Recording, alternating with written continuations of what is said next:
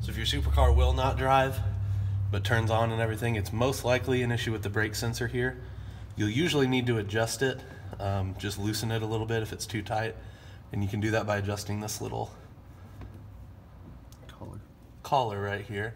And um, if it doesn't move after adjusting, the easiest way to test this is just to unhook this completely from the brake sensor.